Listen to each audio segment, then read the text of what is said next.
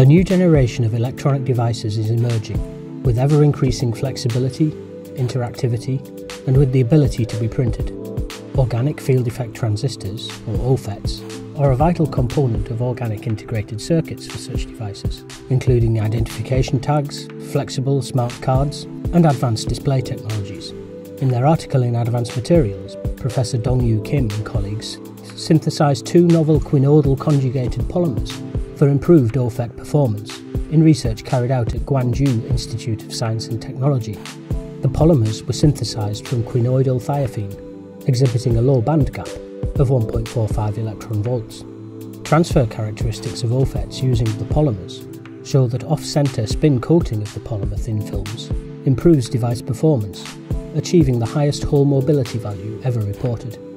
Thermal annealing of the films is shown to improve their crystallinity and molecular ordering. The emergence of a 010 peak corresponds to pi-pi stacking, which is responsible for the high charge carrier mobility. To find out more about these two quinoidal polymers, please visit the Advanced Materials homepage.